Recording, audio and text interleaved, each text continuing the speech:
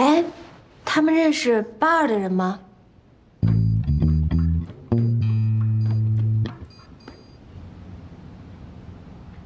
这个万总真是太没良心了，亏他是做食品生意的。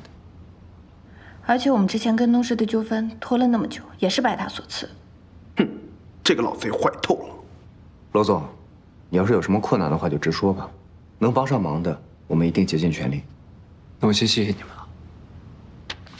大家看啊，这两个地方会有两个看守，都是苏启的人，到时候得咱们自己人扮成搬运工从这儿进去。如果一旦确定是僵尸肉的话，得立刻告诉我们。嗯嗯，那我一个人去就行，人多容易暴露。别呀，咱俩一块儿去啊，相互之间还能照应一下。对啊，我也陪你一起去吧。你去干嘛呀？这玩意儿需要演技，我演技多好啊，你不行。再说了，你那戴着口罩眼镜的，一下就被人认出来了。哎，我觉得胖胖说的对，你们就等着我们俩的消息就行了。嗯，放心，我认识他们工头，被聘用不是难事。嗯嗯。哎，这伙食哦，真是越来越差。鸡蛋面里头连个蛋花都没有。这大晚上干苦力就给吃这个，连油水都没有啊！知足吧，就是因为晚上货多，才多加了两样。要不平时只有馒头。呀，那我多嘴问上一句哈，这里面装的是啥了？咋跟半夜三更不睡觉的办的？听说是一批重要的食材，三角的点，无非就是做酱那些嘛。赶紧吃，赶紧吃，吃完干活啊！早点干完，早点休息，别在这里瞎聊了。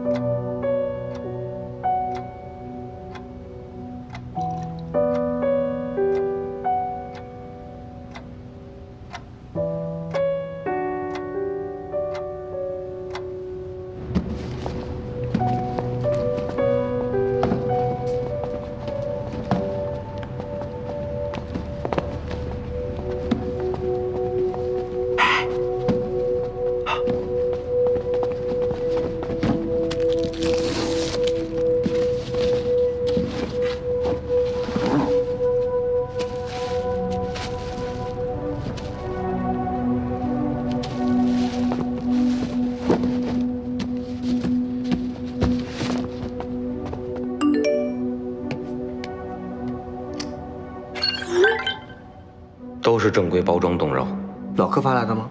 嗯，说都是正规的冷冻肉。什么正规的？嗯，是不是时间信息错了呀？还是苏琪给我们的消息是假的？不应该，苏琪这个时候如果骗我们，对他没有任何一点好处。如果是正规的冷冻肉的话，为什么要在晚上凌晨卸载呢？白天不是更方便卸货吗？那个万总这么做，指不定在哪设计好阴你呢。可是这么大量的货，他们肯定得找一个大型的冷藏库才行。